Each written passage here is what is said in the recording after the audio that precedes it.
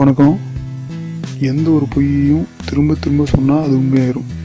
இதுதான் கோயபிள்ஸ் கோட்பாடு.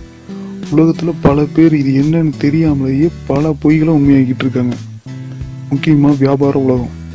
இந்த க்ரீமை போடுங்க சிகப்பாயிருங்க இந்த ஷாம்பை போடுங்க கண்டிப்பாக முடி வளரும் அப்படின்னு திரும்ப திரும்ப பொய் சொல்லி அதுதான் உண்மைன்னு நம்மளை நம்ப வைக்கிறாங்க. அஞ்சு வருஷத்துக்கு முன்னாடி வரைக்கும் வீட்டுக்கு முன்னாடி ஒரு பைப் இருக்கும். அப்படி இல்லைன்னா அந்த ஏரியாவில் ஒரு கிணறு இருக்கும். அதிலிருந்து தண்ணி எடுத்துகிட்டு வந்து தான் நம்ம பயன்படுத்திக்கிட்டு இருந்தோம். ஆனால் மினரல் வாட்டர் தான் நல்லது மினரல் வாட்டர் தான் நல்லது அப்படின்னு திரும்ப திரும்ப போய் சொல்லி உண்மையாகவே மினரல் வாட்டரை வீட்டுக்குள்ளே கொண்டு வந்துட்டாங்க. உண்மை என்னென்னா மினரல்ஸ் எதுவுமே இல்லாத வாட்டர் தான் மினரல் வாட்டர் ரூல் படி கண்டிப்பாக மினரல்ஸை ஆட் பண்ணணும். ஆனால் யாரும் பண்ணுறதில்ல நான் சொல்கிறதெல்லாம் உங்களுக்கு பொய்ன்னு தோணலாம். நான் ஒன்று மட்டும் தான் சொல்லுவேன். எந்த ஒரு பொய்யையும் திரும்ப திரும்ப சொன்னால் அது உண்மையாயிரும். ஆனால் நான் இப்போ வரைக்கும் சொன்ன எல்லாமே உண்மைதான்.